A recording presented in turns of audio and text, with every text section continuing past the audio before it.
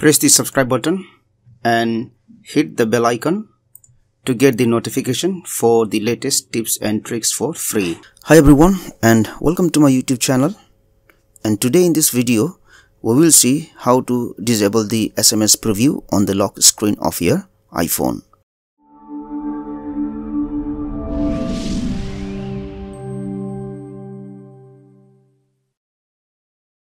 Now what happens when your iPhone is locked and when you get an SMS then the preview of the SMS will be seen on the lock screen of the iPhone. So if you are concerned with the privacy then you can disable the preview. So let's go to settings here.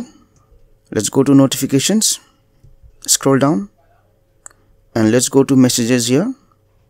Scroll down and there is an option here show previews make it never and also if you don't want the alerts to be received when you get an SMS you can always uh, disable this alerts on the lock screen. But remember if you disable this alert on the lock screen and when you get an SMS you won't be able to know until you open your iPhone. So if you don't want to disable alert and only want to disable the preview then just select never under show previews.